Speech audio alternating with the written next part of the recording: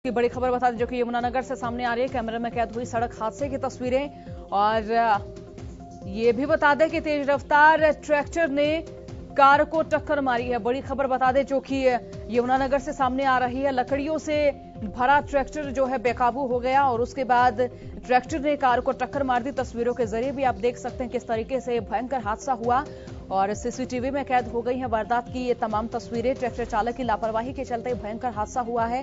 हादसे में ट्रैक्टर चालक बाल बाल बचा है। बड़ी खबर जो कि यमुनानगर से सामने आ रही है। कैमरे में कैद हुई सड़क हादसे की तस्वीरें।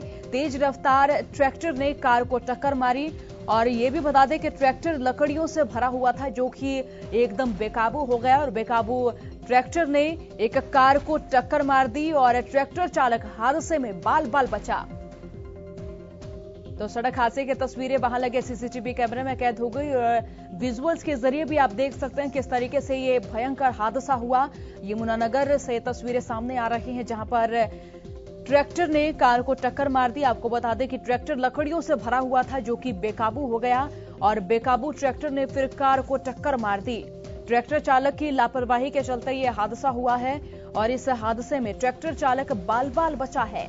तस्वीरों के ज़रिए भी आप देख सकते हैं कितना भयंकर यह हादसा हुआ है और ये तस्वीरें यमुनानगर से सामने आ रही हैं, जहाँ से ट्रैक्टर ने कार को टक्कर मार दी। ट्रैक्टर तेज रफ्तार से आ रहा था और लकड़ियों से भरा हुआ था यह ट्रैक्टर, जो कि एकदम बेकाबू हो गया। तो इसी मार्फत ज़्यादा जानकारी के लिए संवाददाता सुमित ओब्रोय हमारे साथ जुड़ गए हैं। सुमित, कैमरे में ये जो सड़क हादसे की तस्वीरें कैद हुई हैं, हालाँकि सामने आया है कि हादसे में ट्रैक्टर चालक बच गया है। और क्या कुछ इस मसले में ज़्यादा जानकारी है आपके पास? देख रहे हैं हैं हैं मतलब इसे देख कर घंटे खड़े जाएँगे जिस प्रकार से ट्रैक्टर ट्रॉली जो की पर लकड़ियों से भरी हुई ट्रैक्टर लिया है। वो कैसे अनियंत्रित होकर डिवाइडर को तोड़ती हुई दूसरी तरफ़ से हाईवे पर आ रही इको स्पोर्ट कार से जाके टकराती और इसी बीच जो है ट्रैक्टर चालक भी कूद गया, और वो खुद उस ट्रैक्टर के आते, नीचे आते आते बचा, और कैसे मौत के मुँह से बचा। और इसी प्रकार से आसपास के जो लोग थे, उन्होंने गाड़ी सवार बैंक मैनेजर थे, उनको भी सुरक्षित वहाँ से निकाला। हालाँकि इसकी लापरवाही की जो शिकायत थी, वो बैंक मैनेजर की तरफ़ से जो है थाना से जल्दी की गई और पुलिस इस मामले की जाँच कर रही है लेकिन तस्वीरें जो है वो रोंगटे खड़े करने वाली है और किस प्रकार से और सबसे बड़ी गनीमत की बात ये रही कि हादसे के अंदर जो है हताहत नहीं हुआ लेकिन जिस प्रकार से आप तस्वीरों में देख रहे हैं कि कैसे एक तेज रफ्तार जो ट्रैक्टर ट्रॉली और लकड़ियों से भरी हुई है और लोडी ये ट्रॉली ट्रैक्टर अनियंत्रित डिवाइडर को तोड़ी और खुद ट्रैक्टर चालक जो है अगर वो छलांग ना लगाता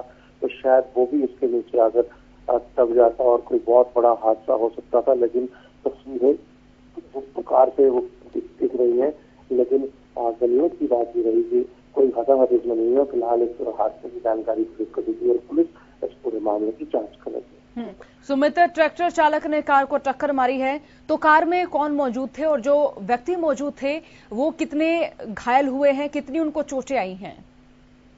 कार के अंदर जो है एक ही व्यक्ति सवार थे वो वहीं से सोडी के पास कार्यरत है मैनेजर है वो वो बिल्कुल धीमी रफ्तार से जो तरफ़ से आ रहे थे जैसे कि तस्वीरों में भी दिख रहा है। अचानक से जब वो ट्रैक्टर ट्रॉली आई और बिल्कुल एकदम जाके उससे तो उसको टक्कर दे मारी तेज रफ्तार के साथ तो आसपास के लोगों ने गाड़ी खोल के जो है उनको निकाला और उस समय वो सुरक्षित से हल्की फुल्की उनको चोट आई थी।